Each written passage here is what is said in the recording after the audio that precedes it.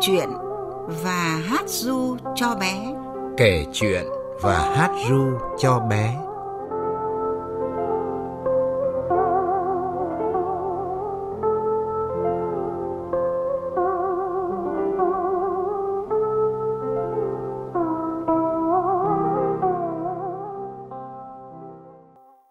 Các bé yêu quý, trong những câu chuyện cổ tích kể về lòng hiếu thảo, thương yêu các con vật thì đều mang đến cho chúng ta những bài học về tình yêu thương.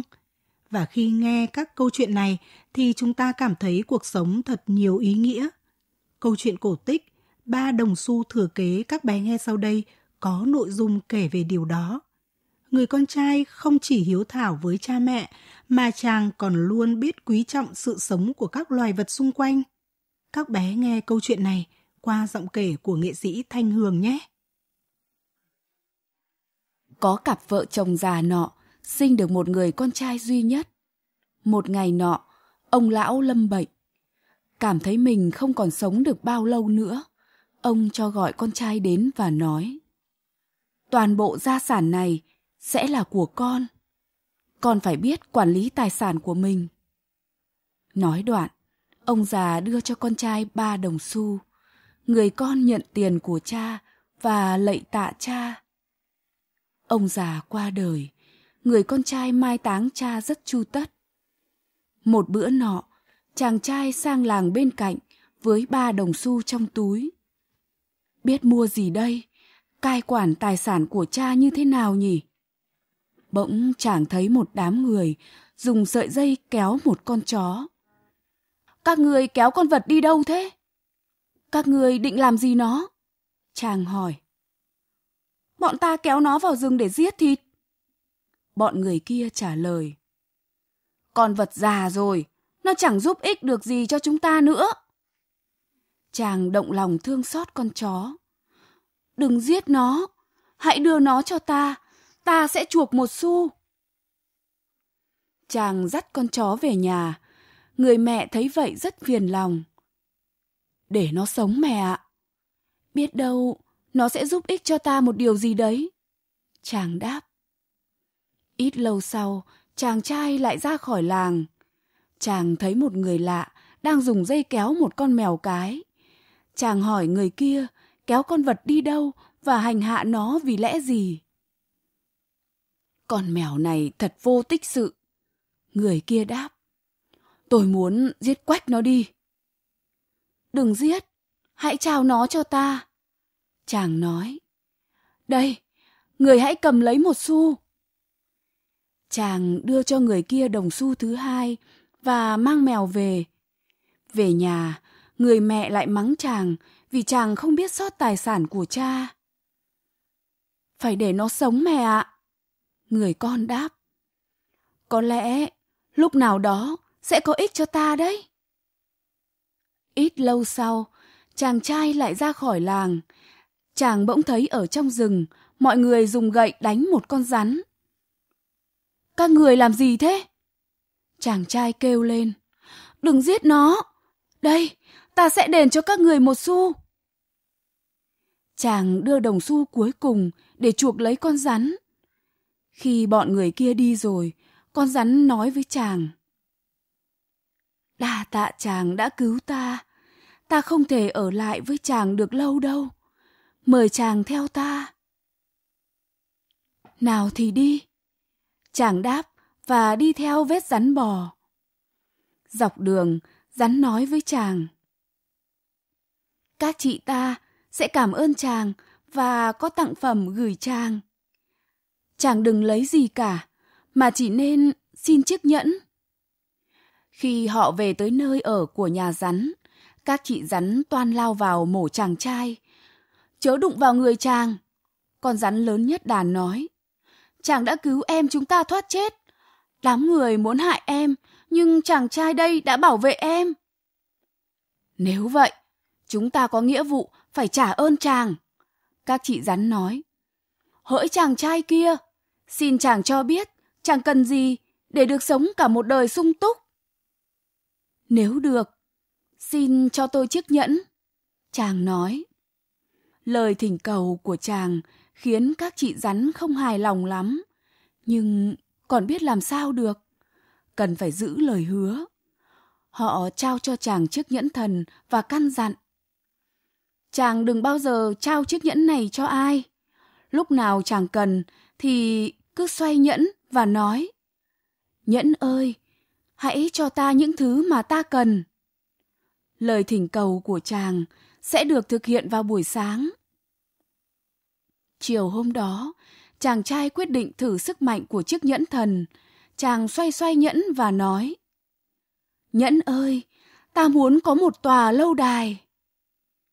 Chàng thiếp đi cùng với lời ao ước ấy. Sáng ra, lúc thức dậy, chàng đã thấy mình đang ở trong một tòa lâu đài. Sau đó, chàng trai cưới vợ và sống sung túc. Tất cả những gì chàng có được là nhờ nhẫn thần. Một hôm, người vợ trẻ nói với chồng. Cho em xem chiếc nhẫn của chàng được không? Chàng trai quên phát lời dặn của chị em nhà rắn, bèn đưa chiếc nhẫn cho vợ. Đêm đó, người vợ xin nhẫn thần đưa mình về thăm nhà cha mẹ ở hòn đảo ngoài biển khơi. Nàng đã cầu được ước thấy. Buổi sáng, khi người chồng thức dậy thì không thấy vợ đâu nữa. Chàng hiểu ngay là đã có chuyện xảy ra. Chàng vò đầu bứt tai. Bây giờ thì ta không có chiếc nhẫn mà cũng chẳng có vợ.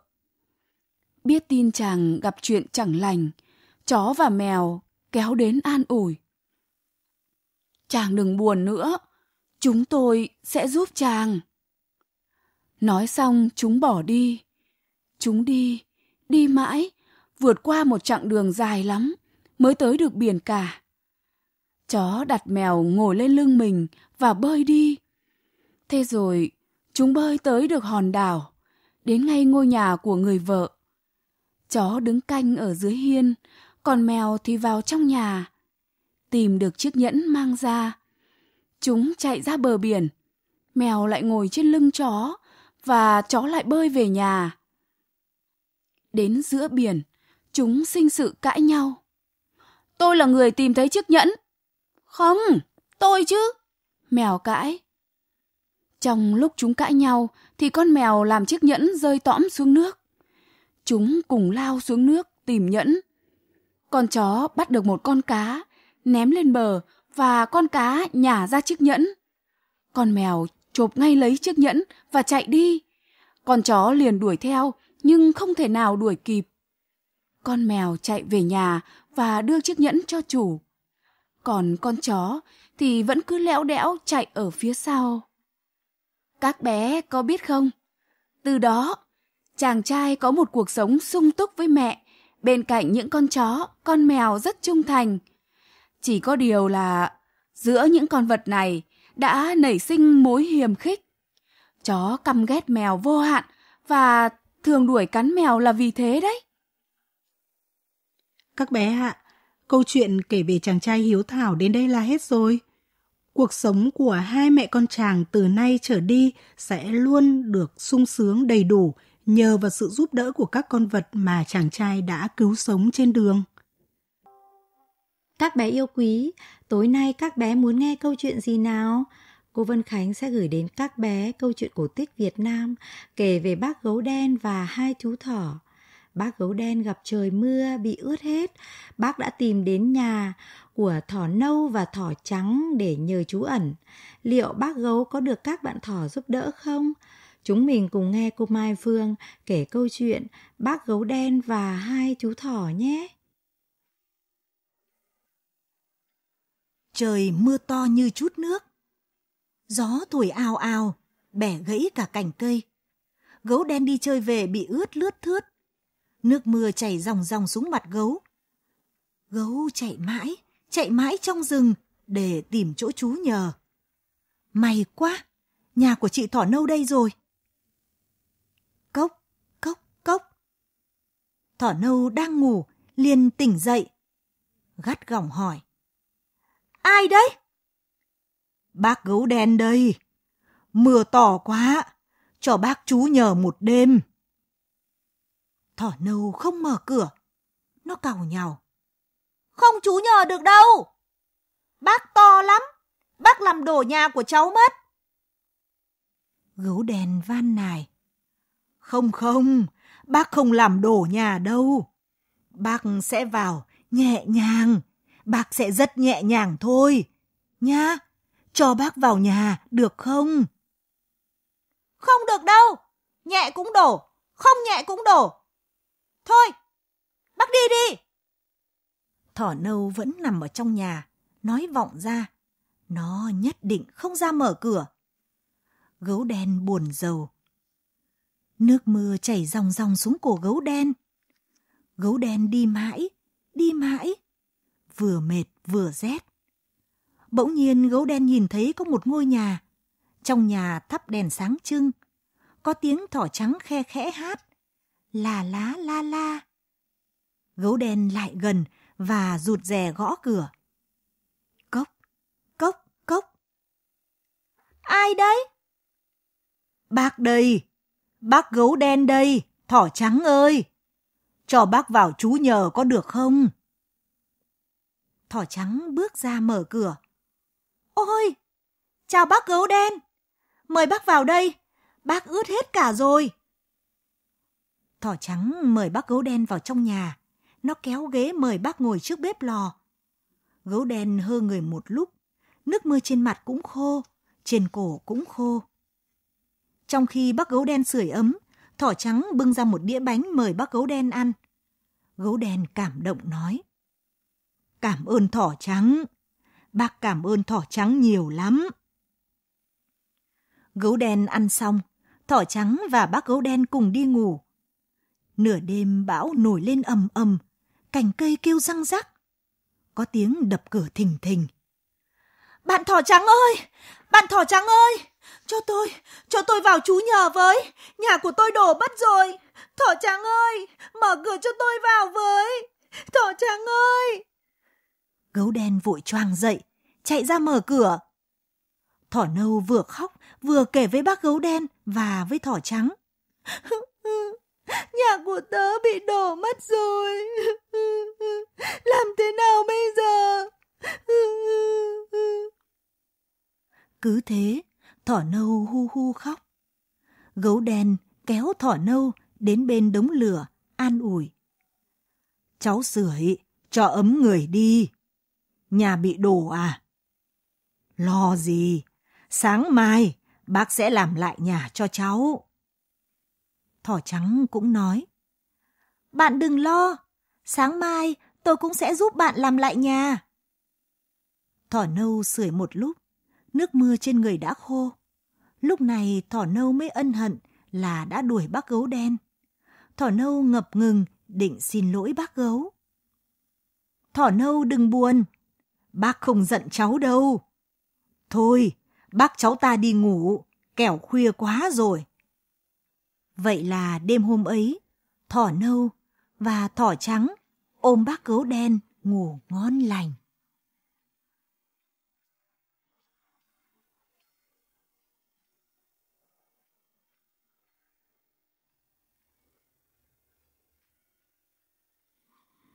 Thỏ nâu ân hận vì đã đuổi bác gấu đi và khi thỏ nâu gặp khó khăn thì bác gấu và thỏ trắng lại giúp đỡ, chăm sóc tận tình. Các bé biết không, trong cuộc sống chúng mình phải có tinh thần tương thân tương ái, giúp nhau trong hoàn nạn khó khăn đấy, các bé ạ. Câu chuyện tiếp theo các bé sẽ được nghe sau đây cũng kể về chú thỏ con gặp một sự cố trên đường đi học. Đó là thỏ con gặp một cái hố to ơi là to nằm ngay trên đường. Thỏ con đã lách qua cái hố đó và đến lớp. Chuyện gì sẽ xảy ra với cái hố to đùng ấy? Các bé cùng nghe cô Mai Phương kể cho chúng mình nghe câu chuyện Cái hố ven đường nhé.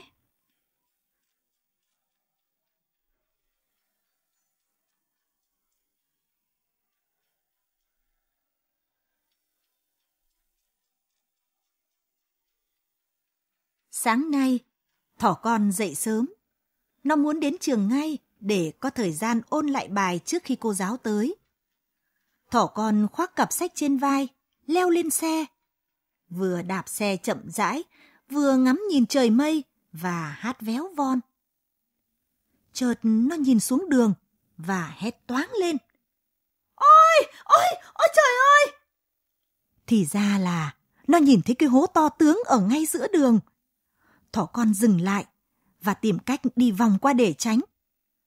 Rồi thỏ con cũng tới trường thật sớm mà không bị lăn xuống hố. Một lát sau, cô mèo mướp xách giỏ đi chợ. Buổi sáng trong lành mát mẻ quá. Nên cô mèo mướp vừa đi vừa mải ngắm nhìn bầu trời. Bỗng dầm. Cả cô mèo mướp cùng cái giỏ đi chợ và xe lọt ngay xuống hố. Hốt hoảng, cô mèo mướp kêu thất thanh. Cứu tôi với! Cứu tôi với! Từ đằng xa, một bác hưu cao cổ đang đi bộ, thể dục bên lề đường. Nghe tiếng kêu của cô mèo mướp, bác hưu vội vàng lao tới. Bác vươn cái cổ dài xuống hố. Bác hưu nhẹ nhàng đưa được cả cô mèo và chiếc xe đạp của cô ấy lên khỏi mặt đất. May mà cô mèo chỉ bị xây sức nhẹ thôi, vì cô ấy đi xe chậm. Chứ nếu như mà cô phóng nhanh như một số người khác, thì chắc là sẽ bị nặng lắm. Cảm ơn anh hươu cao cổ. May cho tôi quá. Cô mèo mướp nói với bác hươu. Không có gì, không có gì đâu. Cô không bị đau đớn là tốt rồi. Có điều, mình phải làm gì để giúp những người đi sau không bị lăn xuống hố chứ? Bác Hưu nói. Thế rồi bác Hưu và cô mèo mướp bàn với nhau một lúc. Rồi cô mèo mướp và bác Hưu quyết định. Trước tiên, bác Hưu sẽ vươn cổ, bứt một cành cây lớn để cắm ngay trước cái hố báo cho mọi người biết mà tránh. Sau đó cô mèo cùng với bác Hưu sẽ về nhà rủ mọi người trong khu rừng mang cuốc sẻng ra lấp đất vào hố để san phẳng con đường. Buổi chiều hôm ấy, đi học về, thỏ con hết sức cảnh giác. Từ xa, nó đã cố nhớ xem cái hố ấy nằm ở khúc đường nào để nó lái xe vòng qua mà tránh. Thế nhưng lạ chưa? Thỏ con không tin vào mắt mình nữa. Cái hố to tướng buổi sáng, không thấy đâu cả. Suốt dọc đường về, thỏ con đã suy nghĩ. Và khi nó hiểu ra mọi chuyện, nó đã rất ân hận. Đáng nhẽ nó phải giống như cô mèo và bác Hiêu, biết nghĩ tới cả những người khác chứ không chỉ nghĩ cho bản thân mình. Có phải không các bé?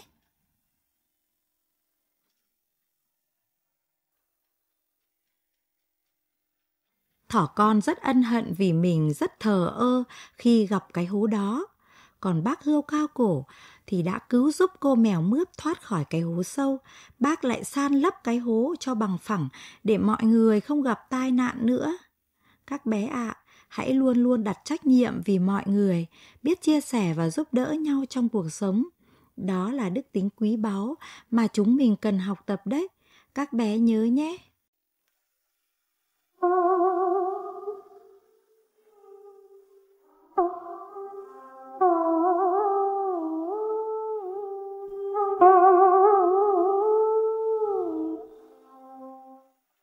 Kể chuyện và hát ru cho bé. Kể chuyện và hát ru cho bé.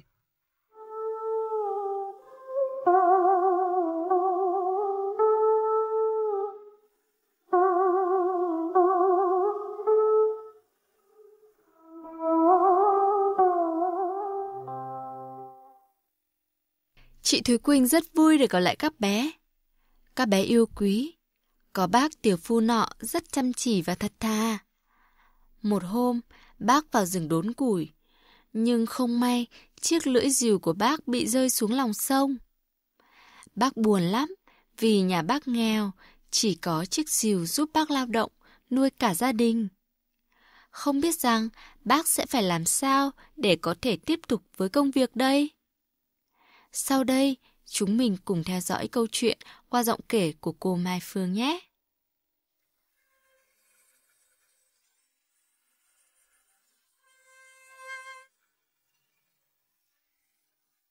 Một bác tiểu phu đốn cây bên bờ sông. Thình lình cây lưỡi rìu long ra khỏi cán và rơi tòm xuống nước. Bác ngồi than thở. Khổ thân tôi, không còn lưỡi rìu thì làm gì mà đốn cây, và làm sao mà nuôi sống gia đình đây? Bỗng có tiếng động trong lùm cây bên bờ, và một cụ già, dầu tóc bạc phơ đột nhiên xuất hiện. Cụ hỏi bác tiểu phu. Làm sao mà anh than khóc khổ sở thế? Cụ bảo, làm sao mà tôi không than khóc được? Cây lưỡi rìu của tôi rớt xuống nước. Tôi không làm sao đốn cây được để nuôi sống gia đình. Cụ già đáp. Tai nạn có thể vượt qua được, anh ạ. À. Nói rồi, cụ bước xuống sông. Lạ thay, cụ đi tới đâu, nước rẽ ra tới đó. Bác tiểu phu chưa hết ngạc nhiên thì cụ già nổi lên, tay cầm một lưỡi diều bằng vàng và hỏi. Cái này có phải của anh không? Không, không, không phải lưỡi diều của tôi đâu cụ ạ. Cụ già lặn xuống nước, lại ngoi lên, trong tay cầm một cái lưỡi diều bằng bạc, chìa ra cho bác tiểu phu và hỏi. Cái này chắc chắn của anh rồi. Không, cũng không phải. Lần thứ ba, cụ già lặn xuống và đem lên một lưỡi diều bằng sắt. Thế còn cái này? Bác tiểu phu mừng rỡ kêu lên. Đúng rồi, đúng rồi, cái này mới đúng là của tôi. Bác cảm ơn cụ già, vội đón lấy lưỡi diều, trực chạy đi. Nhưng cụ già kịp giữ bác lại và nói. Khoan, khoan đã. Anh hãy cầm lấy hai cái lưỡi diều vàng và bạc kia đi. Anh không tham, nhưng tôi không hà tiện với anh đâu. Cụ đã dạy thế, thì tôi xin nhận và không bao giờ quên lòng tốt của cụ. Xin cảm ơn cụ. Bác tiểu phu về nhà, đem theo cả ba cái lĩ rìu bằng vàng, bạc và sắt. Có người láng giềng nhà giàu nghe chuyện bác tiểu phu gặp may, nghĩ bụng. Ta cũng thử đi ra bờ sông một chuyến xem sao. Thế là gã đi ra bờ sông và cũng đem theo một cái lưỡi rìu. Và cái lưỡi diều ấy chỉ gắn hờ vào cán mà thôi. Đến bờ sông, gã nhà giàu dơ diều lên. Chưa kịp chặt vào cây, thì lưỡi diều đã rơi tòm xuống nước. Cụ già râu tóc bạc phơ hôm trước lại hiện ra và cũng nhận mò giúp gã. Trong nháy mắt, cụ biến mất dưới nước. Mặt nước chưa kịp sao động, thì cụ đã nổi lên, tay cầm cái lưỡi diều sắt và hỏi. Cái này có phải của anh không? Ôi, không phải, không phải đâu, cụ ơi, rìu của tôi đẹp hơn nhiều. Cụ già lại lặn xuống và nổi lên với một cái lưỡi rìu bạc. Còn cái này? Không phải cụ ơi, cái lưỡi rìu của tôi đẹp hơn thế nữa. Cụ già lặn xuống lần thứ ba, nổi lên với một cái lưỡi rìu vàng. Cái này có phải của anh không? Phải, phải đấy, chính là của tôi, đúng rồi. Tôi nhận ra nó từ xa. Cụ đưa ngay đấy cho tôi, nào nào, đưa đây. Nhưng khi định đưa cái lưỡi dìu vàng cho gã nhà giàu, cụ già lại hỏi. Này, anh có chắc là không nhầm đấy chứ? Vì ở dưới đáy sông lại có một cái lưỡi dìu bằng kim cương nữa kia. Gã nhà giàu vội kêu lên. Ồ, thế thì đó mới là lưỡi diều của tôi. Tôi loa mắt nên nhìn nhầm cái lưỡi diều này đấy cụ ạ. À. Cụ già rung rung bộ râu bạc, lại lặn xuống nước, đem theo cái diều vàng. Và lần này, cụ không nổi lên nữa. Còn gã nhà giàu thì cứ chờ, chờ mãi ở trên bờ.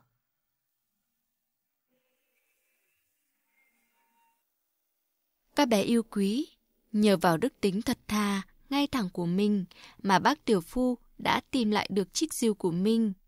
Không những vậy, bác còn được ông Tiên trao phần thưởng xứng đáng. Còn tên nhà giàu tham lam đã không đạt được âm mưu của mình. Câu chuyện tuy ngắn, nhưng ý nghĩa ẩn sâu trong đó thật đáng quý, có đúng không nào các bé? Cô Thúy Quỳnh rất vui khi được gặp lại các bé. Các bé yêu quý. Đêm nay, cô sẽ giới thiệu tới các bé một câu chuyện có phần hài hước, đó chính là chuyện Bầy dê của Hoàng đế. Chuyện là có một anh chàng nọ khi đang giặt một tấm da cừu trên sông thì có hoàng đế đi qua và hỏi chuyện. Không biết đã có những chuyện gì xảy ra nhỉ? Ngay bây giờ, chúng mình cùng nghe chuyện cổ tích Bầy dê của hoàng đế qua giọng đọc của cô Thúy An nhé.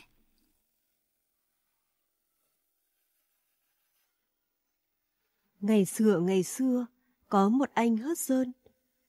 Hớt sơn tên người một địa phương, có tiếng là dí dỏm và tháo vát.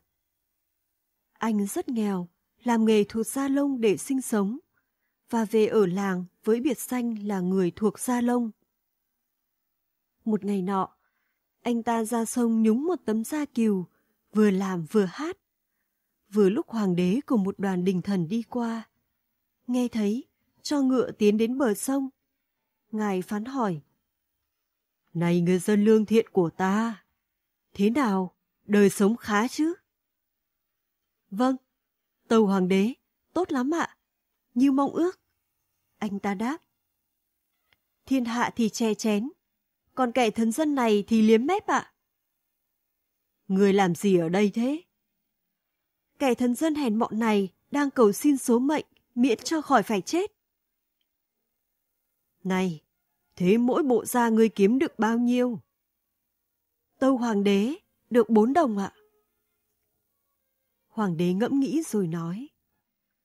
Hừm, anh chàng láo cá, ta chắc rằng ngươi ném hết vào quán rượu rồi đúng không?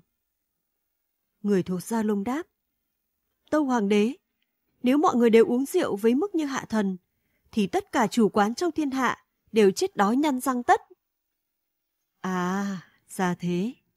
Vậy thì tiền ấy, người chi tiêu ra sao nào?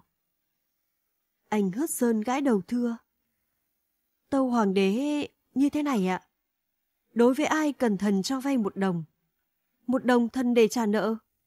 Đồng thứ ba thì thần vứt đi. Còn đồng cuối cùng, thần đem cho đàn dê.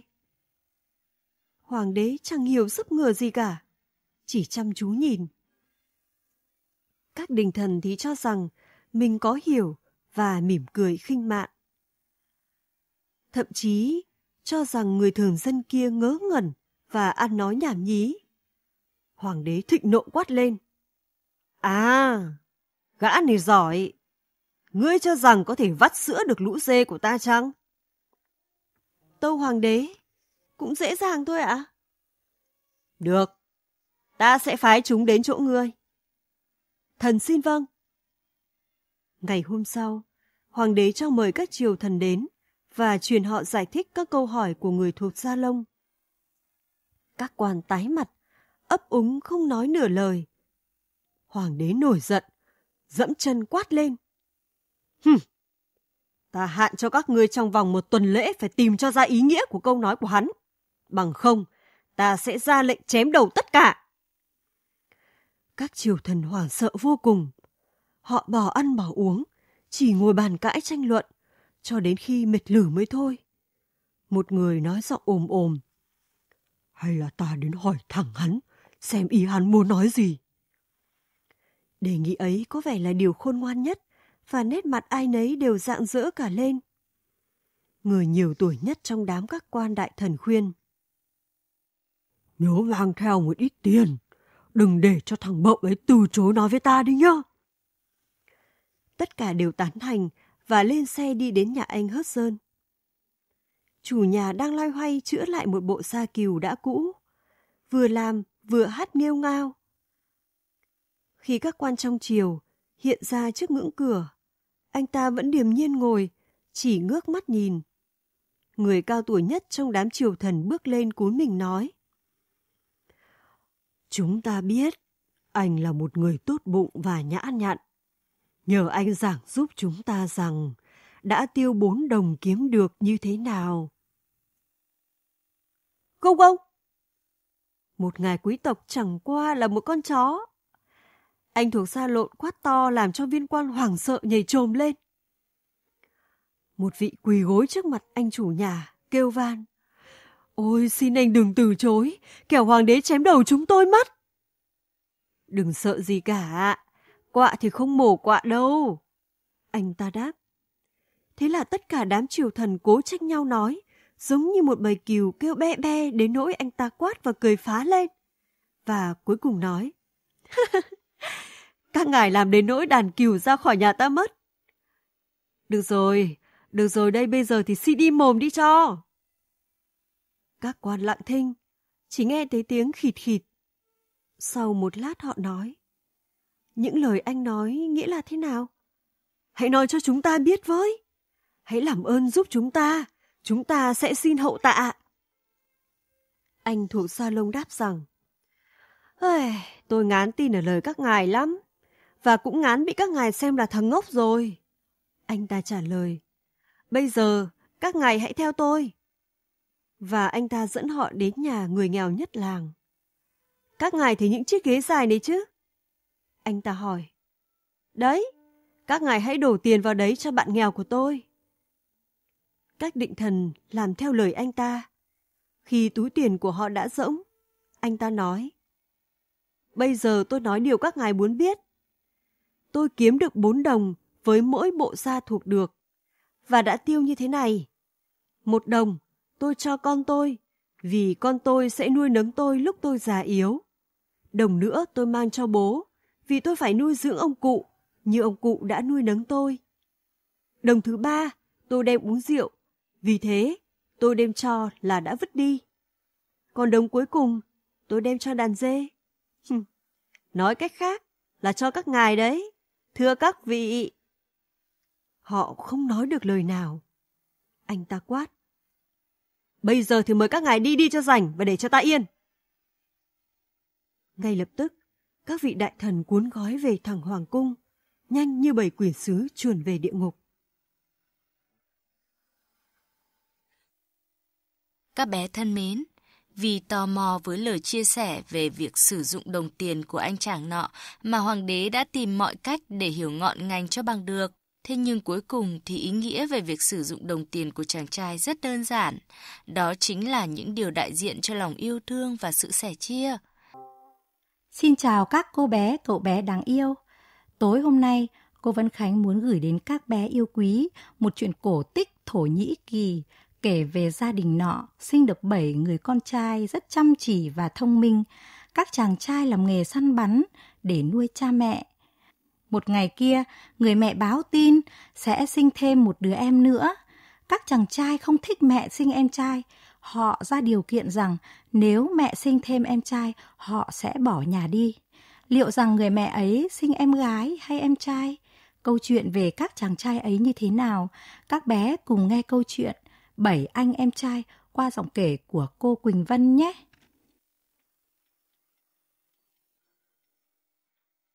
Ngày xưa, ngày xưa, có hai vợ chồng nọ sinh được bảy người con trai. Các chàng trai hàng ngày đi săn bắn thú rừng. Họ bán thú rừng săn bắn được và nuôi sống gia đình bằng số tiền kiếm được. Thời gian cứ tuần tự trôi đi. Ít lâu sau, người mẹ các chàng trai đó lại có mang.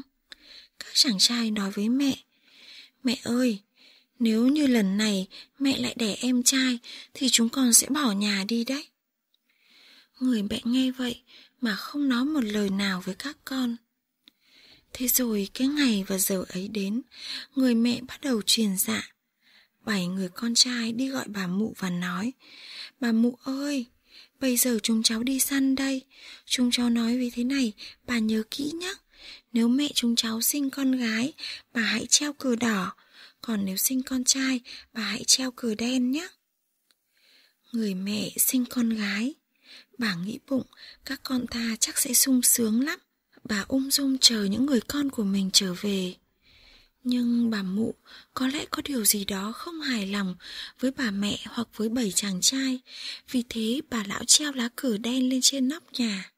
Đến tối, khi bảy người con trai trở về chỗ pháo đài, đối diện với ngôi nhà của họ, và nhìn thấy từ trên nóc nhà của mình lá cờ đen, chàng trai nói, mẹ ta lại đẻ con trai rồi. Và cả bảy chàng quay đi. Từ đấy đã nhiều năm trôi qua, cô gái lớn nhanh như thổi. Một lần, khi cô bé đang chơi ngoài phố, các bạn gọi cô. Ê, đứa em út của bảy chàng trai. Cô gái nghe vậy thì ngạc nhiên lắm. Cô chạy ngay về nhà và kể lại cho mẹ nghe. Bà mẹ nghe con gái nói thì thoái thác, không muốn kể một điều gì.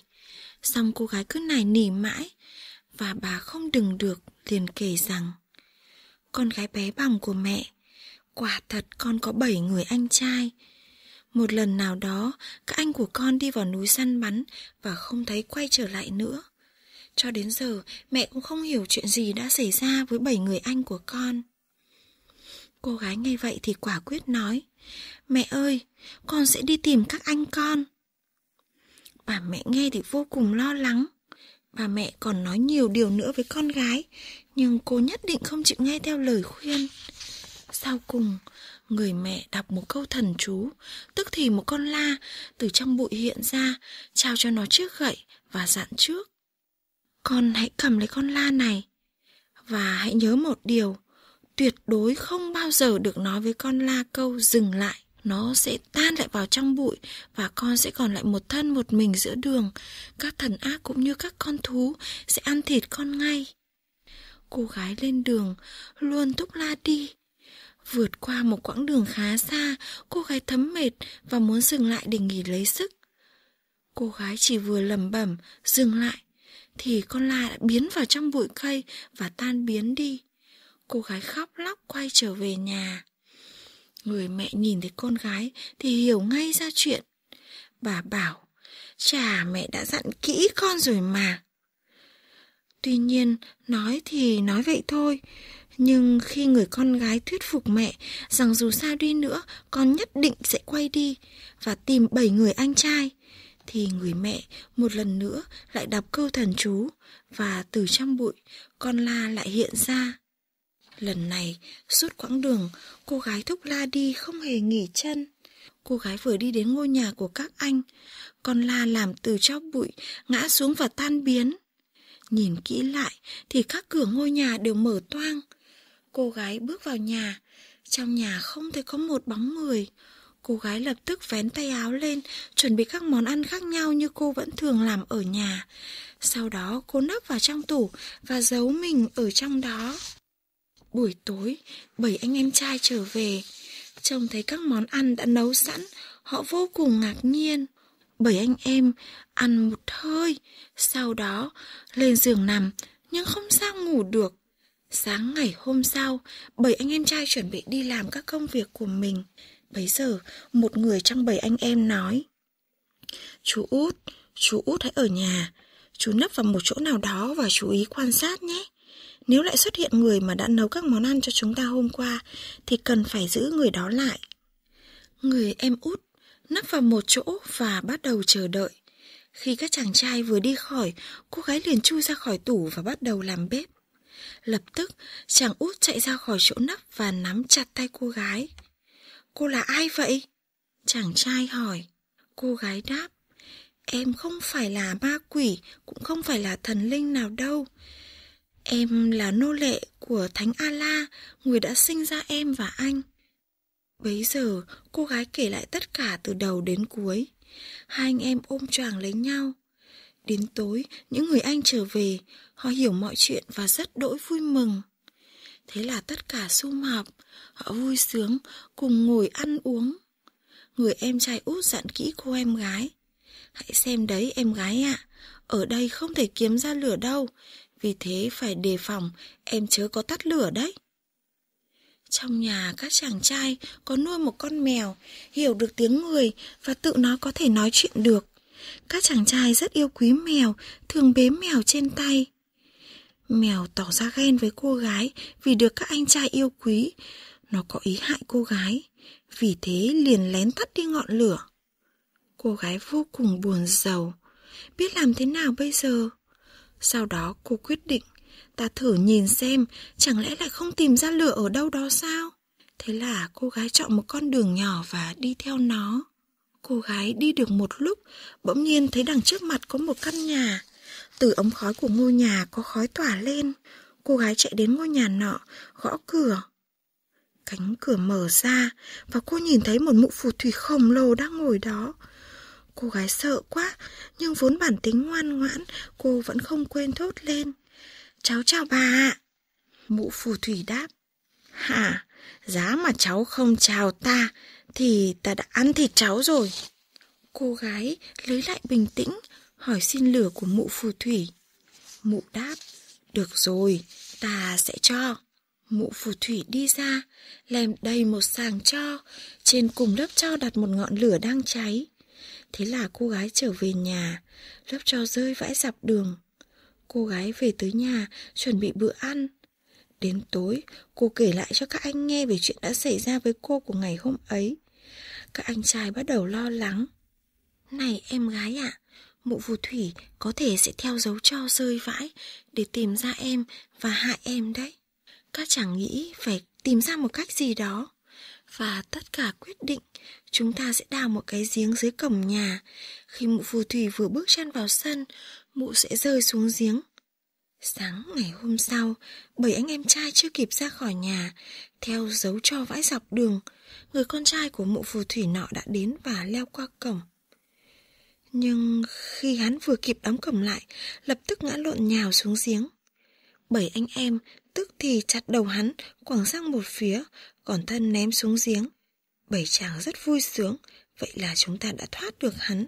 Rồi họ lại cầm vũ khí của mình và đi săn. Còn cô em gái ở nhà thì nướng bánh. Một lúc sau, một phù thủy xuất hiện, mụ gầm gà dữ tợn. Cô gái vô cùng sợ hãi nhưng không biết làm cách nào. Cô đón mụ và mời vào trong nhà, rồi cô nói với mèo. Hãy mang bơ lại đây, ta phết bơ vào bánh mì cho bà lão của ta ăn. Nhưng con mèo vốn không ưa cô gái, nó hỏi lại, làm như không hiểu. Cái gì? Đầu nó ra sao? Mèo đi ra, lát sau mang đến cái đầu của con trai mụ phù thủy và đặt trước mặt mụ. Trông thấy đầu của con trai, mụ phù thủy rú lên làm rung chuyển cả núi và đá. Sau đó, mụ phù thủy nhổ răng khỏi mồm đứa con trai và cắm vào chân cô. Ngay lập tức cô ngã lăn ra. Mụ phù thủy quyết định giết cô gái rồi để cô lại và đi khỏi. Buổi tối, bảy anh em trở về nhà. Họ trông thấy em gái trong trạng thái như vậy thì gào khóc. Họ cùng nghĩ, vậy là em gái của chúng ta đã chết, bây giờ chúng ta biết làm gì đây?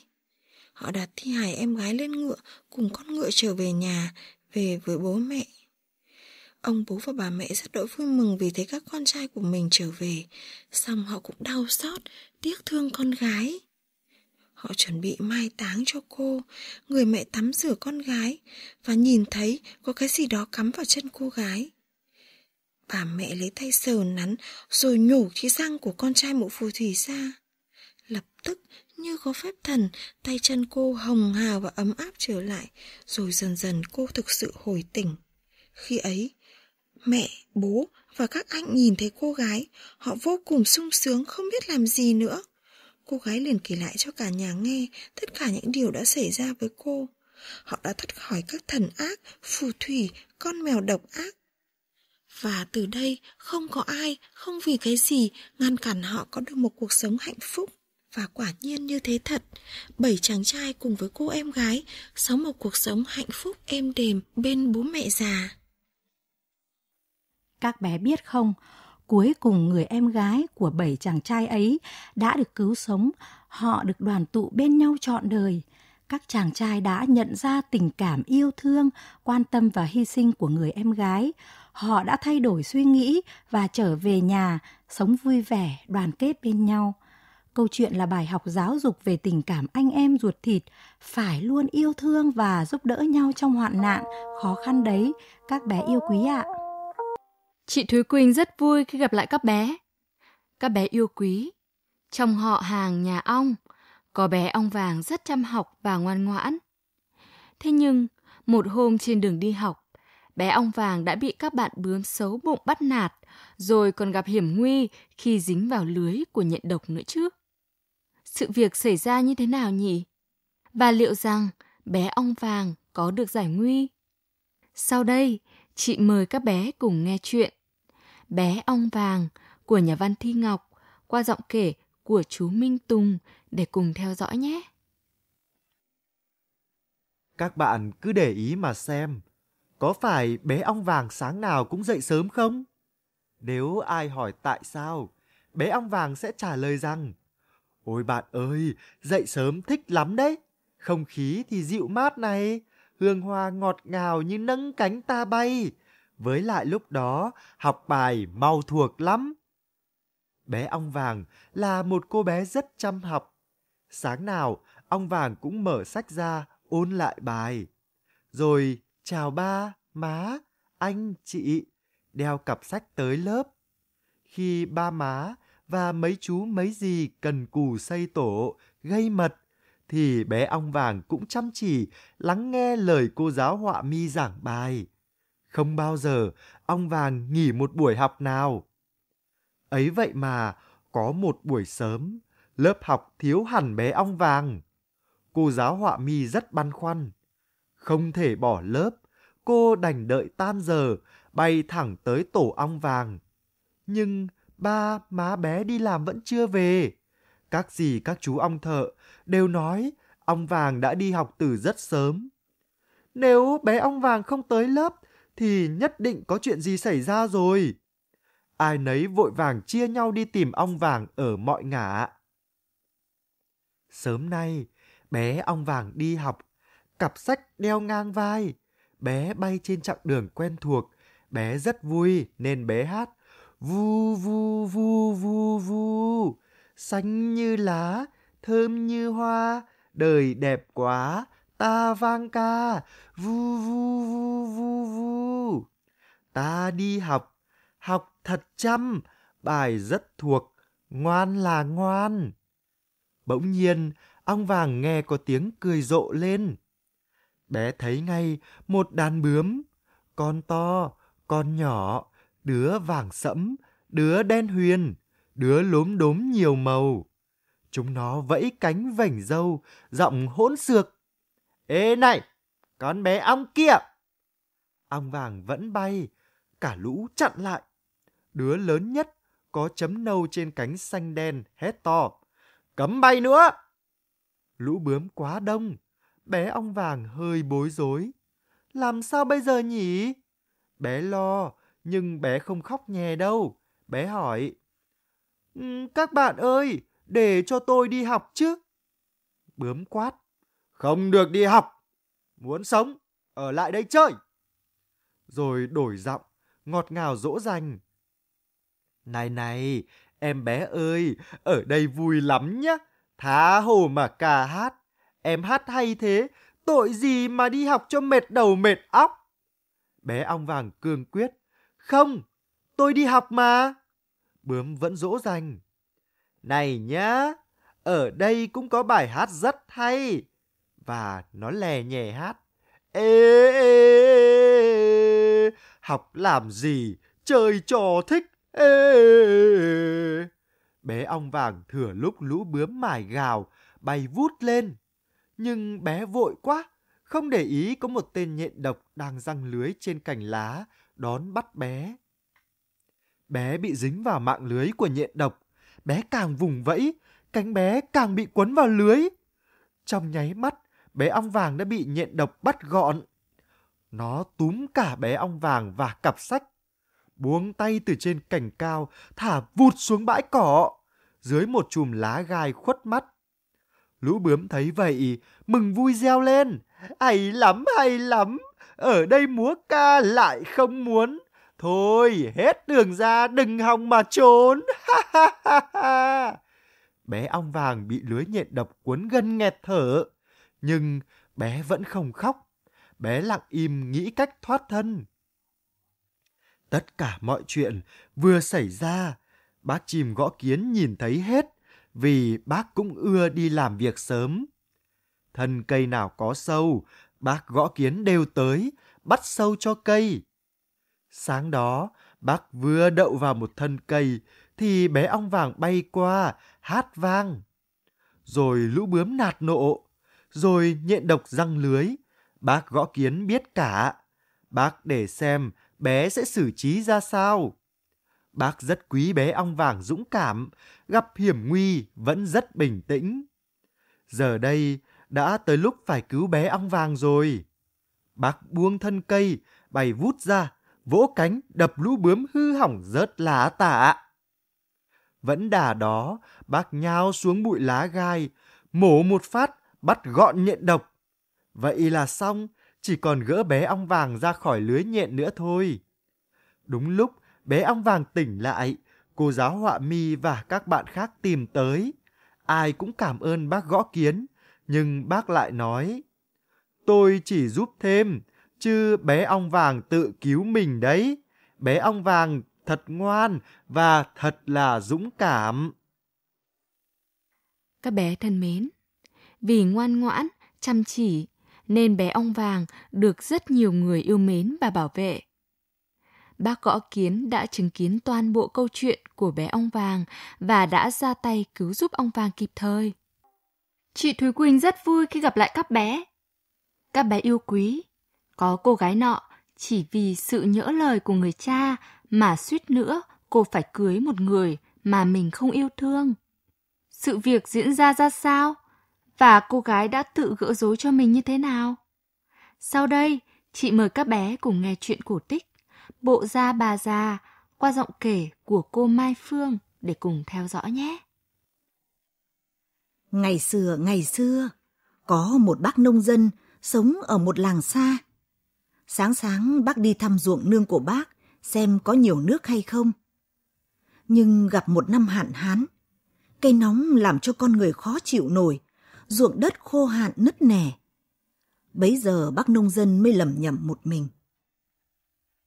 Ta có bà cô con gái.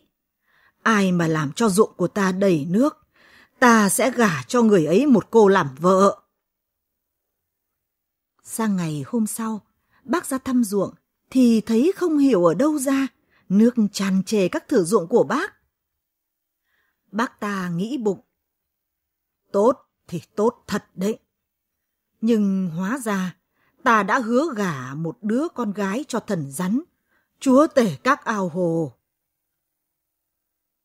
Suốt nhiều đêm, bác không sao chập mắt được vì lo lắng. Một đêm có cụ già, dâu tóc bạc phơ hiện lên và hỏi. Sao bác lại có vẻ buồn vậy? Thưa cụ, con... con lo quá. Người cha đáp. Ờ, có gì mà làm con quá lo lắng như vậy? Dạ, hàng ngày con đi thăm ruộng, xem ruộng có nước hay không, và con buồn giàu. Năm nay hạn quá, đất ruộng nứt nẻ cả. Hôm trước còn tha thần quanh hồ và tự lầm bẩm. Ta có ba cô con gái, ai mà làm cho ruộng của ta đầy nước, ta sẽ gả cho người ấy một cô làm vợ. Này thấy ruộng nước tràn trề, con phải thực hiện lời hứa. Cụ già nghe thấy vậy, liền trao cho người cha viên ngọc hãy uống cạn nước. Một nghìn chiếc kim khâu. Viên ngọc hỏa hãy lan khắp. Rồi dặn. Con hãy trao những thứ này cho người con gái nào nhận lời đi làm vợ chúa tể ao hồ. Vậy là sáng hôm sau, người cha dậy, gọi cô con gái cả tới, kể sự tình và hỏi. Con có bằng lòng đi làm vợ chúa tể các ao hồ không? Không tìm ra một người ngốc thứ hai trên thế gian này như cha, cha ạ. Con không hề có gì dính dáng đến cái chuyện giao ước của cha ấy đâu. Cô gái từ chối. Tiếp theo, cô con gái thứ hai đến bên cha. Cô ta không buồn nghe lời của người cha nói nữa. Cô ta không muốn biết chuyện gì hết. Đến lượt cô gái út, người cha cũng hỏi cô. Con ơi, liệu con có thể làm vợ chúa tể các ao hồ không? Dạ, thưa cha, con xin tuân theo ý cha ạ. Người cha yên tâm trở dậy, ngồi vào bên mâm ăn. Đến thời hạn, cô con gái út lên đường về nhà chồng. Cô gái mang theo viên ngọc hãy uống cạn nước, một nghìn chiếc kim khâu, viên ngọc lửa hãy lan khắp, lên ngựa và đi tới hồ nước. Đến bên bờ, Cô xuống ngựa và ném viên ngọc hãy uống cạn nước xuống hồ. Bỗng nhiên, nước bị rút dần. Viên ngọc đã uống cạn sạch nước đến đáy hồ. Bấy giờ cô ném cả nghìn chiếc kim khâu xuống. Các mũi kim đâm vào người rắn. Rắn giống lên quằn quại đau đớn. Cô gái ném nốt viên ngọc lửa hãy lan khắp xuống đáy hồ. Thế là cả hồ biến thành hồ lửa. Mọi cái trong hồ đều bị cháy sạch, chỉ còn lại cho tàn. Cô gái còn lại một mình bên hồ, bỗng nhiên một con ếch nhảy thẳng đến chân cô. Chị ơi, sao chị lại đứng một thân một mình ở đây thế? Cô gái kể lại mọi chuyện đã xảy ra. Rồi cô hỏi. Ếch có biết nhà nào có thể nhận tôi vào làm công không? Ếch trả lời. Chị ơi, chị quả là xinh đẹp, để làm một cô hầu bình thường. Ếch cho chị một bộ da bà già, chị khoác bộ da vào và đi đến cái làng xa kia, thử xem có gặp may chăng? Cô gái cảm ơn ếch, rồi khoác bộ da bà già vào, tìm đến cái làng ở mãi xa và thấy một ngôi nhà lớn. Có thể ở đây người ta nhận mình vào làm chăng? Thế rồi cô lên tiếng hỏi. Các vị làm ơn cho tôi một công việc nào đấy. Tôi uh, già nua, nhưng vẫn có thể quét dọn sân nhà được. Người nhà liền dẫn bà cụ vào gặp chủ. Ông chủ liền bảo. Bà cụ già lưng còng, mũi chúi xuống đất, vừa hay, hợp với công việc quét dọn. Thế rồi ông ta nhận bà cụ già vào làm và ra lệnh thu xếp một chỗ ở cho bà cụ ở góc sân. Tôi tớ súng vào việc, chẳng mấy chốc chỗ ở của bà cụ xong đâu đấy. Ban ngày người quét sân là một bà cụ già, nhưng đến đêm bỏ bộ da bà già ra, lại trở thành cô gái xinh đẹp. Cô đốt đèn và ghé sách ngồi đọc. Một bận, cậu con trai ông chủ đi đâu về tối khuya. Trời tối khắp nơi, nhưng ở chỗ ở của bà cụ lại sáng đèn. Cái gì thế nhỉ? Cậu chủ khẽ đi đến gần, nhìn vào, thì thấy không phải bà già, mà là một cô gái xinh đẹp không ai sánh được. Suốt ngày cậu những chỉ tơ tưởng về cô gái, rồi đêm đến cậu lại rình nhìn trộm. Vẫn thấy cô gái xinh đẹp tuyệt trần ấy ngồi đọc sách. Chàng trai nghĩ thầm. Có điều bí mật gì ở đây? Bà già quét sân. Tất nhiên không phải cáo, không phải trồn đội lốt. Nhưng bà ta là ai? Cậu con trai buồn giàu, rồi cậu chàng biếng ăn, người hao gầy trông thấy, và tất nhiên lăn ra ốm liệt giường. Các cô đầy tớ thay nhau mang đến của ngon vật lạ, mời cậu, ép cậu chàng ăn. Nhưng cậu không để mắt tới một cô nào cả, cũng không động đến một món nào cả. Và cậu con trai càng gầy rộc khô héo.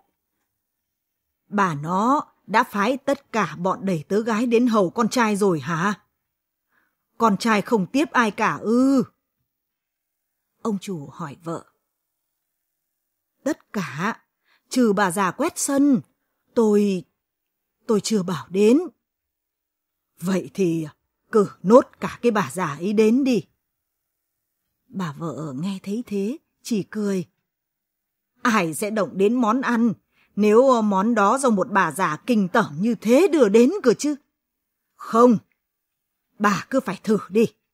Ông chủ kiên quyết. Khi ấy bà già gù thoát bỏ bộ da bà già, tắm rửa sạch sẽ, mặc xiêm áo đẹp, liền trở thành cô gái tuyệt thế giai nhân. Mọi người đều kinh ngạc. Chàng trai lần đầu tiên mỉm cười và sẵn sàng tiếp nhận các món ăn. Ông chủ thấy ngay là con trai mình từ lâu đã phải lòng cô gái. Không chậm trễ, ông cho tổ chức lễ cưới và đôi vợ chồng trẻ sống yên vui hạnh phúc.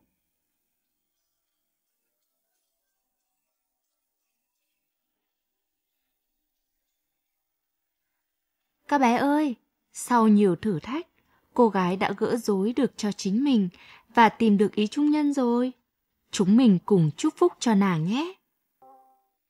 Chúa Nghiệp xin chào những thính giả quen thuộc của chương trình kể chuyện và hát du. Các bé ơi, trang phục của con người bao gồm quần áo và một số đồ vật kèm theo như là mũ, giày, găng tay, khăn quàng. Trong đó quan trọng nhất là quần áo. Chức năng của trang phục là bảo vệ con người khỏi tác động của môi trường và làm đẹp cho các hoạt động nữa. Các bé biết không, có một hoàng đế thích mặc quần áo đẹp đến mức quên cả việc của triều đình. Ngài muốn may một bộ quần áo đặc biệt, tuyệt đẹp không ai sánh bằng. Và cuối cùng, hoàng đế sẽ có một bộ quần áo như thế nào? Các bé cùng nghe cô Thùy Nhung kể chuyện cổ tích thế giới, bộ quần áo mới của hoàng đế. Ngày xưa, có một vị hoàng đế thích quần áo đẹp đến nỗi ngài sẵn sàng chi không tiếc tay cho việc ăn mặc.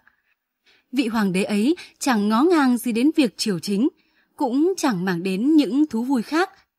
Mỗi giờ, ngài lại thay một bộ quần áo mới. Người ta thường nói, hoàng đế đang lâm triều, nhưng đối với vị vua này thì phải nói là hoàng đế đang trong tủ quần áo. Kinh thành, nơi đức vua sinh sống rất nguy nga tráng lệ, ngày nào cũng có đông đảo du khách ghé qua. Một ngày kia, hai kẻ lạ mặt xuất hiện. Chúng tự xưng là thợ dệt, có thể dệt ra một thứ vải tuyệt đẹp. Quần áo được may bằng thứ vải đó có đặc tính kỳ lạ là người nào không làm tròn bổn phận hoặc ngu xuẩn thì không thể nhìn thấy nó dù đứng rất gần. Đó sẽ là bộ quần áo tuyệt vời. Hoàng đế thầm nghĩ. Mặc nó ta sẽ biết được trong đám quân thần của ta, kẻ nào không làm tròn bổn phận. Ta sẽ phân biệt được đâu là người tài giỏi và đâu là kẻ ngốc nghếch. Đúng vậy, ta cần có bộ quần áo như vậy ngay lập tức. Vị vua ban thưởng cho hai tên thợ dệt rất nhiều vàng bạc châu báu và yêu cầu chúng bắt tay ngay vào công việc. Chúng bày ra hai khung cửi rồi ngồi vào ra vẻ như đang dệt vải. Nhưng tuyệt nhiên chẳng có bất cứ thứ gì trên khung cửi.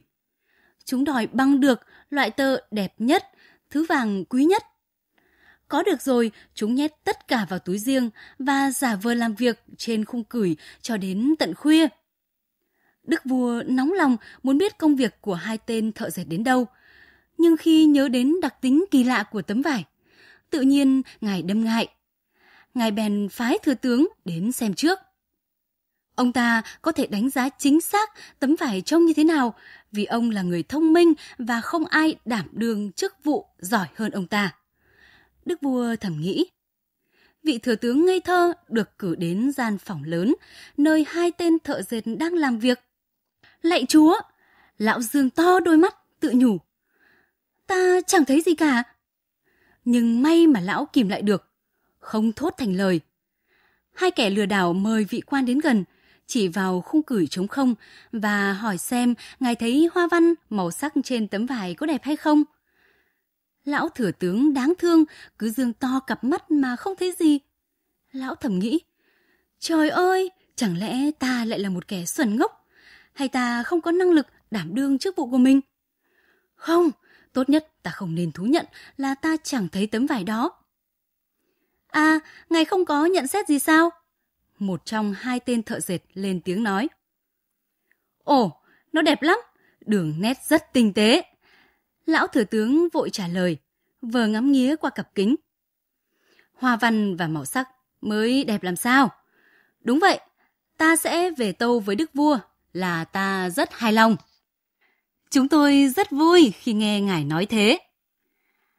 Hai tên trả lời rồi huyên thuyên mô tả đủ loại màu sắc và hoa văn có trên đời được dệt trên tấm vải. Lão thừa tướng lắng nghe như nuốt từng lời để còn về thuật lại cho hoàng đế. Lợi dụng cơ hội, hai tên thợ dệt lại xin thêm tiền, vàng, tơ sợi để chi phí vào việc dệt vải. Sau đó, chúng vợ tiếp tục say sưa làm việc bên khung cửi. Chẳng bao lâu sau, nhà vua lại cử một viên đại thần khác đến xem vải được dệt như thế nào. Và khi nào thì xong. Giống như vị thừa tướng, viên đại thần ngắm nghía, nhưng ông ta cũng chẳng thấy gì ngoài khung cửi trống không. Thưa, tấm vải đẹp không ạ? Hai tên thợ chỉ vào tấm vải, giải thích từng đường chỉ, từng hoa văn rằng nó mềm mại như thế nào và tinh tế ra sao. Ta đâu có ngu dốt đâu. Viên đại thần hoang mang nghĩ.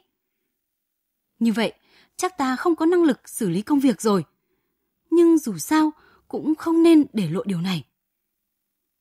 Nghĩ vậy, hắn bèn hết lời ca tụng tấm vải trong tưởng tượng và quả quyết rằng rất thích màu sắc cùng những hoa văn trên đó. Trở về gặp hoàng đế, viên quan kính cẩn tâu. Muôn tâu bệ hạ, quả thật không gì sánh bằng.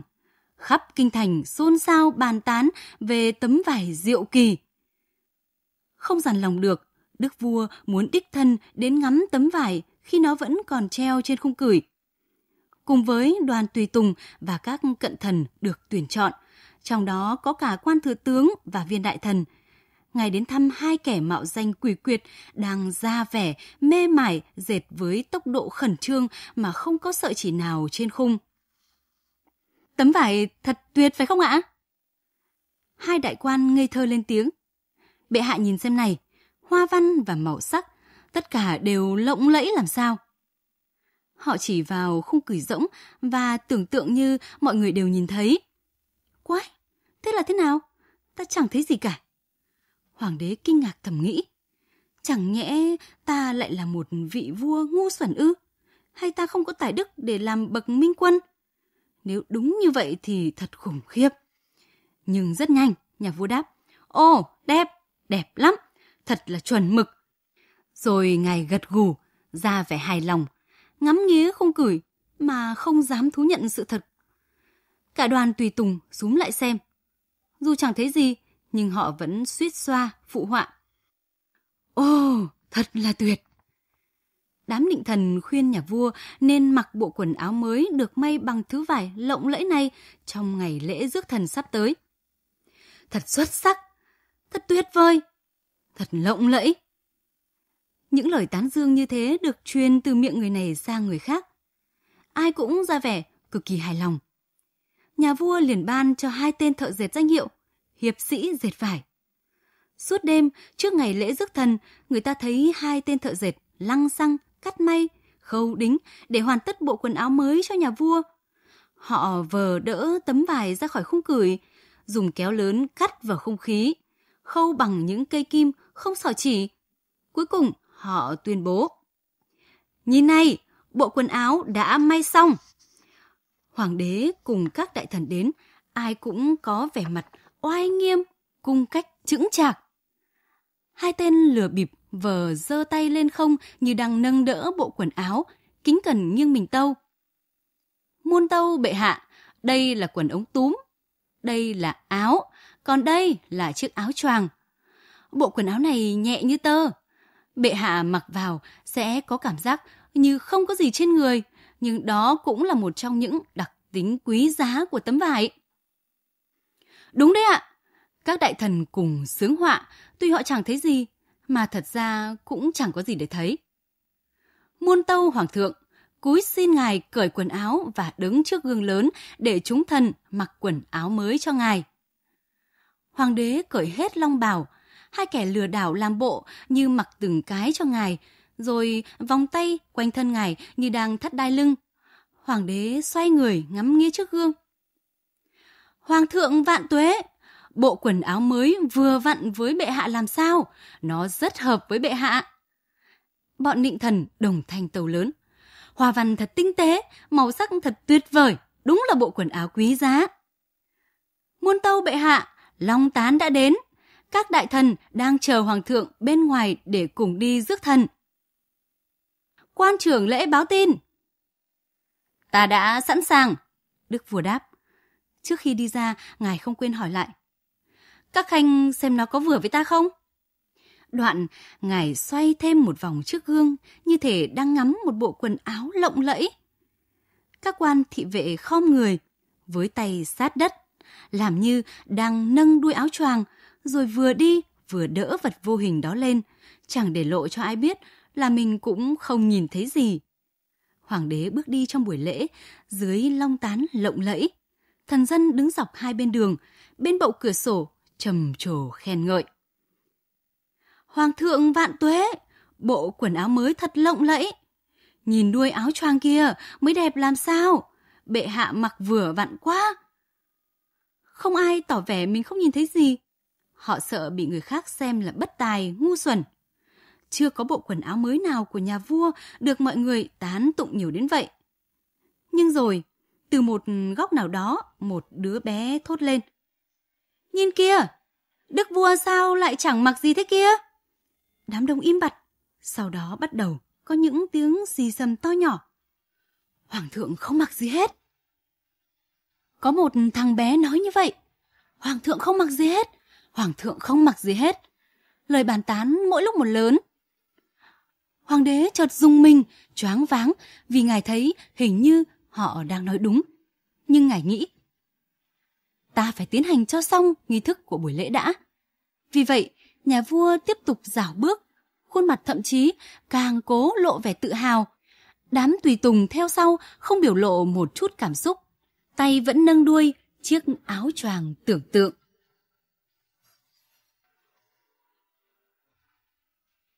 Cô Thủy Nhung vừa kể cho các bé nghe chuyện cổ tích thế giới, bộ quần áo mới của hoàng đế. Hai kẻ lừa đảo hứa sẽ dệt cho hoàng đế một bộ quần áo tuyệt đẹp, mà lại có đặc tính kỳ lạ là ai mà ngu xuẩn thì sẽ không nhìn thấy bộ quần áo này. Tuy hoàng đế và hai vị đại quan không nhìn thấy bộ quần áo nào hết, nhưng vì sợ bị chê là ngu ngốc nên họ tỏ ra có nhìn thấy bộ quần áo đẹp. Chỉ đến khi hoàng đế diện bộ quần áo tưởng tượng đi ra đường thì ngài mới biết mình không mặc gì trên người. Một câu chuyện hài hước chế giễu những ai che giấu sự thiếu hiểu biết của mình. Các bé yêu quý, ở vùng đất ven biển nọ, có anh chàng tên là Lan Pho, làm nghề thợ săn. Một hôm đi săn trên núi, anh đưa mắt ra phía biển thì nhìn thấy mặt biển toan một màu vàng của đồng tiền Rika. Anh lại gần và gặp bà tiên mặt trăng đang dạo thuyền. Bà ban cho Lan Phò ba đồng tiền vàng. Lan Phò mừng rỡ trở về. Nhưng anh chợt nghĩ, ba đồng tiền thật ít ỏi.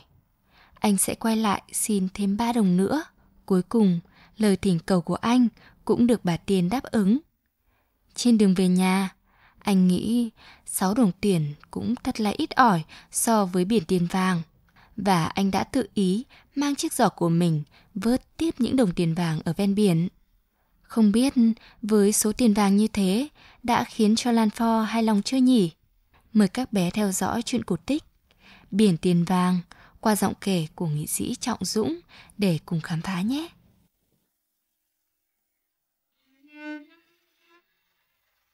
Đó là ngày thứ 15 của tuần trăng thứ 8. Trên mặt đất xảy ra những điều kỳ diệu lạ lùng và cái không thể trở thành có thể. Trên trời, một vầng trăng vàng treo lơ lửng. Anh thợ săn Lan Phò xách giỏ lên núi cao. Sau khi đã leo một quãng dài vất vả, anh đến được đỉnh núi. Phóng tầm mắt nhìn về phía tung lũng thường vẫn tối đen. Anh mệt đến đứt cả hơi. Trước mặt anh, như trong tầm tay, thung lũng ngập trong ánh trăng vàng rực rỡ. Làn phò bấm vào bàn tay. Có phải thật là ánh sáng không nhỉ? Hay là... Hay là... Anh không thể tin. Một biển tiền đi ca vàng. Nhưng chúng ở đâu ra? Và ai đã vất chúng xuống mặt nước như thế chứ? Làn phò băn khoăn tự hỏi. Đưa mắt nhìn xung quanh, trên mặt biển vàng, chợt có cái gì động đậy. Động đậy. Nhìn kỹ, làn phò thấy một con thuyền vàng đang tiến thẳng về phía mình. Và trên con thuyền vàng ấy, làn phò rụi mắt, rụi mắt. Trên con thuyền, đúng, quả vậy. Không phải là mơ, không phải là mơ. Mình đang tỉnh, mình đang tỉnh. Kìa, một người đàn bà đẹp. Đúng rồi, một người đàn bà đẹp. Con thuyền tiến thẳng về phía anh. Ta là tiên mặt trăng đây. Bà ta cất giọng ngọt ngào. Ta đợi anh đến. Và anh đã đến rất đúng lúc. Đêm nay, các kho tàng của trên trái đất đều mở. Mỗi người đến thung lũng này đều nhận được một phần của mình. Nói dứt lời, bà tiên đưa cho Lan Fro bà đi cà vàng. Lan cảm ơn và sung sướng quay về. Nhưng mới đi được có mấy bước, anh nảy ra ý nghĩ. Ờ, cả một biển tiền đi ca mênh mông thế này, ta có thể hỏi xin thêm một ít nữa. Thế là anh quay trở lại chỗ bà Tiên đang bơi. Dạ, dạ thưa bà Tiên mặt trăng. Tôi, dạ tôi nghèo lắm ạ. Dạ, xin bà cho tôi ba đi ca nữa. Dạ, chỉ ba đi ca nữa thôi ạ. Lan phò này nỉ.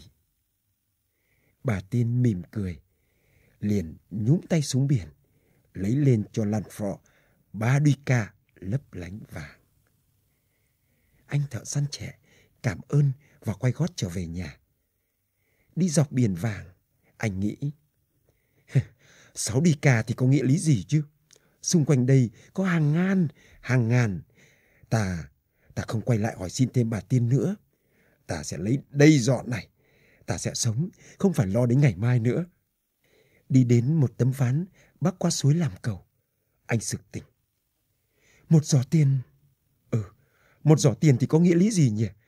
Nếu ta mang về đây một thung tiền thì sao nhỉ? À, phải phải, ta sẽ không mất thì giờ với cái giỏ này nữa. Nghĩ là làm, anh vứt cái giỏ xuống suối, chạy thật nhanh về nhà. Về đến nhà, anh lấy một chiếc ủng và trở lại con đường lên núi. Nhưng chỉ có độc một chiếc ủng thì có nghĩa lý gì nhỉ?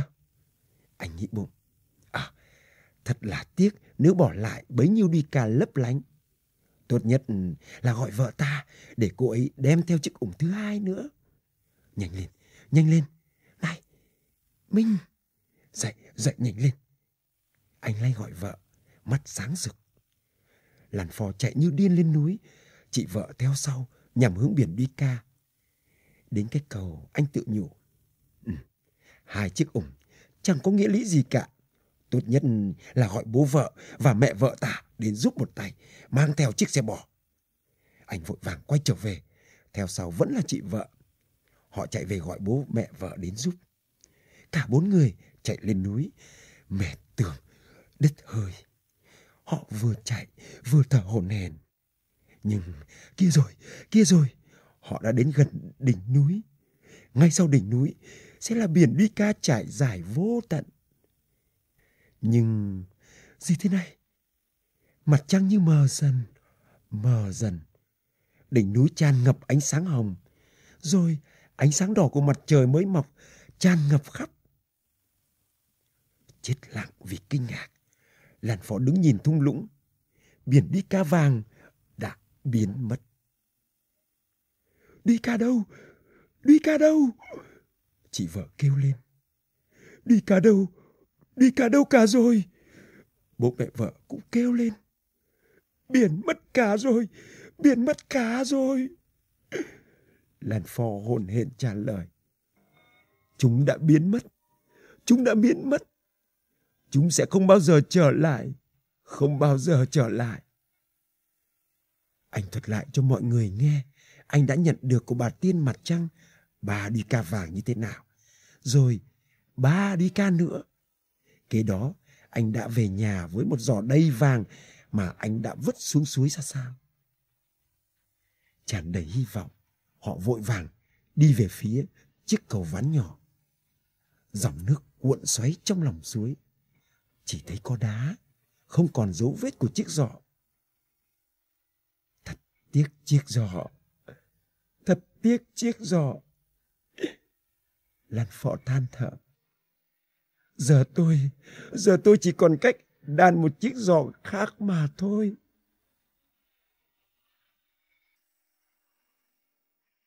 Hóa ra, một giỏ tiền vàng và sáu đồng tiền đuôi ca chưa khiến cho làn phò thỏa mãn. Anh chạy về huy động cả nhà ra biển. Nhưng khi trở lại, làn phò kinh ngạc khi biển tiền vàng đã biến mất và số tiền mà anh lấy được cũng không còn.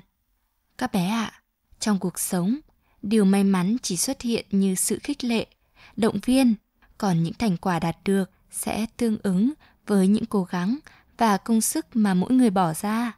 Những điều may mắn sẽ không đến với những người lười biếng và tham lam. À, trong vom lá mời trôi non chung cam bà dự. À,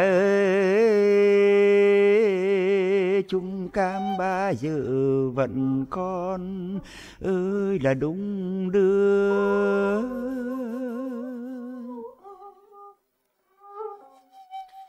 ê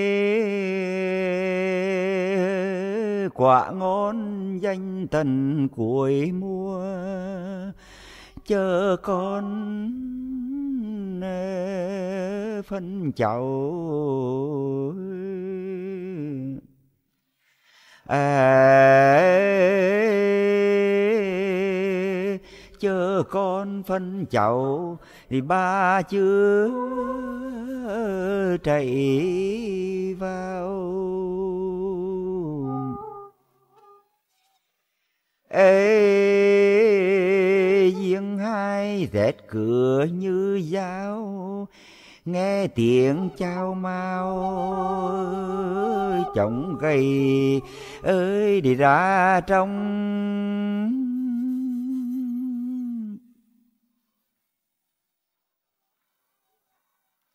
Ê nom đoai rồi lại ngậm đông bê lo sương tạp mê.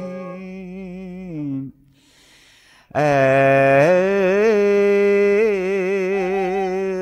bê lo sương tạp bề phong. Ơi mà chim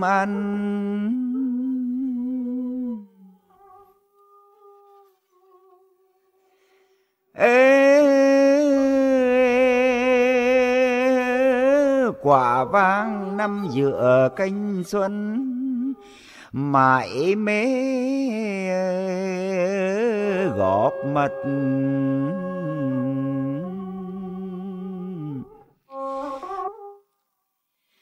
ê, mãi mê góp mật chuyến cần, ơi, để tỏa hương.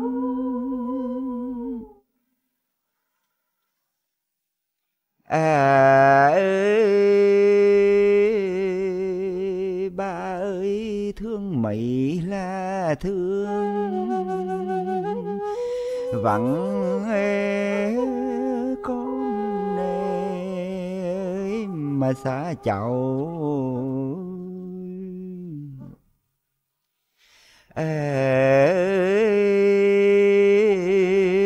vẫn con xa chậu mà tóc sương.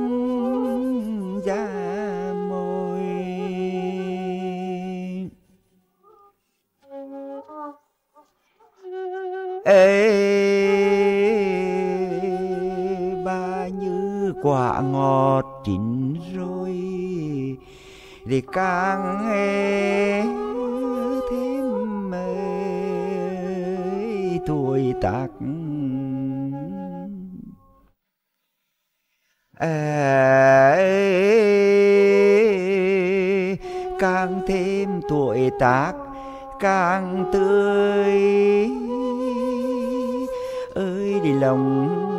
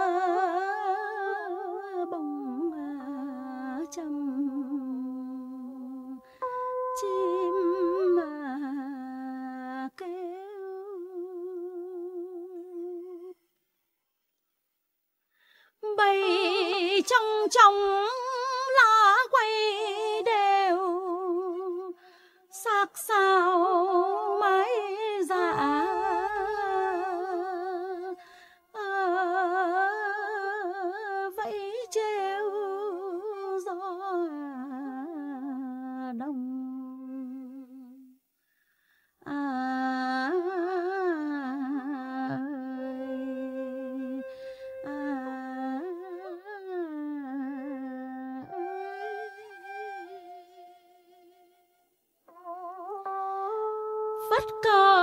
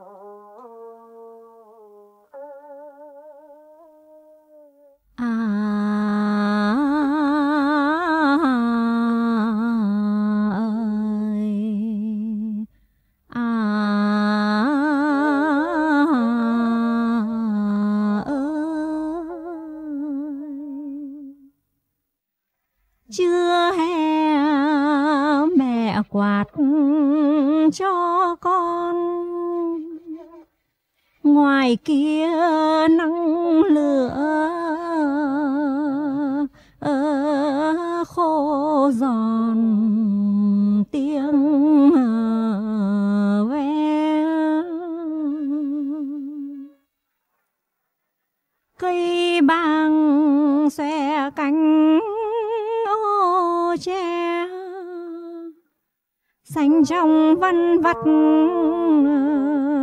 ờ, trời quê sao ờ,